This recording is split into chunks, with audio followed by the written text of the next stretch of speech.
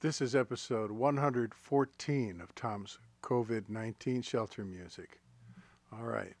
As promised, here's the second new acquisition. It's a record I've been wanting to have for many, many, many years. And I'm really excited to now have this in my collection. Just arrived today from a trade for another record. And uh, this is John Hyman's Bayou Stompers on Victor from 1927, recorded in New Orleans. All right, well, John Hyman was a, a cornet player who uh, played in a style very similar to uh, Bix Beiderbecke because he idolized Bix Beiderbecke, but he also idolized people like King Oliver and Louis Armstrong. Actually, uh, he actually saw King Oliver play live here in New Orleans before King Oliver went up to Chicago and wrote about it later. Uh, and even remembering things that King Oliver said and his reaction to people uh, asking for uh, request, you know, requesting tunes or the name information about the tunes they were playing and things like that. Really interesting stuff. Well, all right, so John Hyman he came from a, a fairly affluent New Orleans family, and they didn't quite like it that he was playing jazz and that he was uh, using their name, you know, on a, a jazz record, this one right here. So he changed his name to Johnny Wiggs. And from that point forward, he was known as Johnny Wiggs, and he was a professional musician here in New Orleans.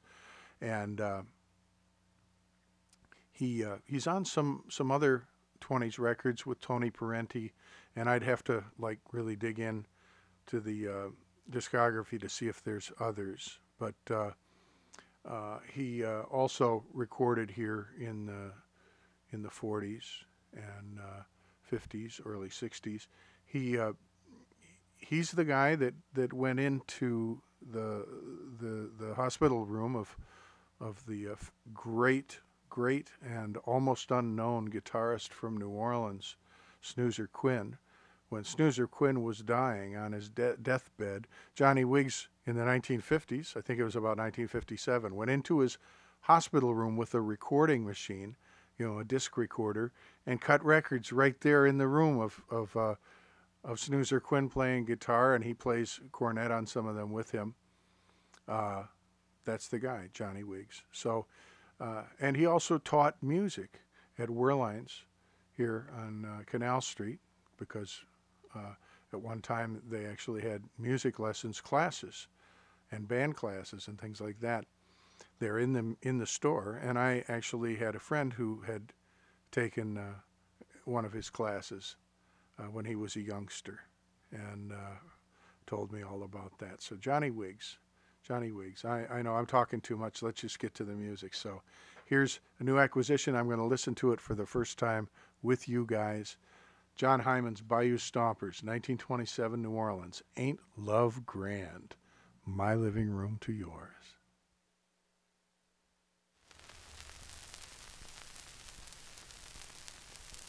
Mm-hmm.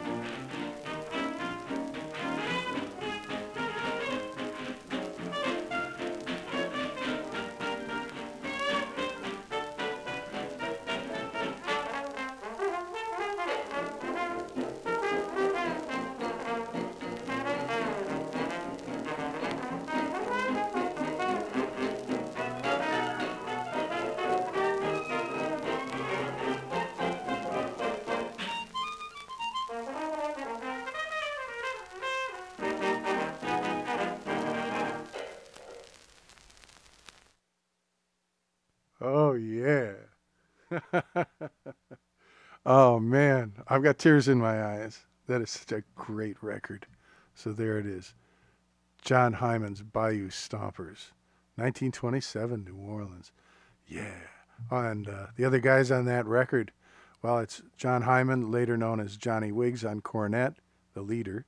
Charles Hartman, great New Orleans trombone player. Ellery Maser on clarinet.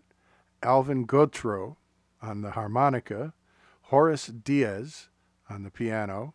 Nappy Lamare on guitar. You you hear him on a bunch of records later on from New Orleans and from elsewhere. Great guy. I think we played. Uh, I think we played uh, uh, Adrian's Taproom Gang record that had uh, Wingy Manone singing on it, and uh, Nappy Lamare was a guitar player on that. So, and uh, Monk Hazel, great New Orleans drummer, Monk Hazel. All right, so there it is. Ain't Love Grand?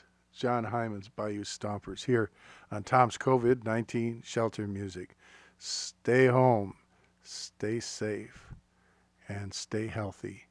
And by God, keep listening to that really great jazz music.